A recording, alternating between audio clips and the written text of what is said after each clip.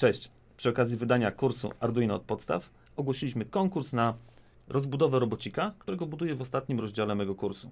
Robocik prezentuje się w ten sposób. Na pewno jeżeli zakupiliście kurs, widzieliście dokładnie w jaki sposób go budowałem, jak on wygląda, co on sobą reprezentuje. Jest to nagroda o wartości ponad 250 zł.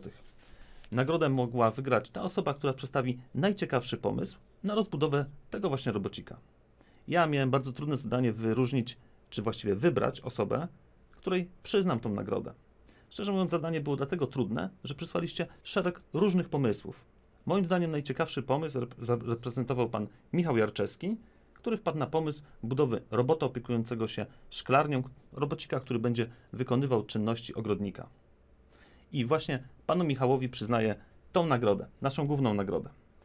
Jednak chciałbym nagrodzić również dwie inne osoby, które wykazały się równie ciekawymi pomysłami, równie ciekawą innowacyjnością przedstawionych pomysłów. Jest to pan Kamil oraz pan Wojciech i tym osobom przyznaję dodatkowe kupony rabatowe na zakup kursów w strefie kursów. Są to kupony wartości 50 zł, mogą je zrealizować w dowolnym czasie. Wszystkim osobom, które brały udział w naszym kursie serdecznie gratuluję. Zwycięzcom oczywiście gratuluję wygranych i kontaktujemy się z nimi w najbliższym czasie za pomocą drogi mailowej.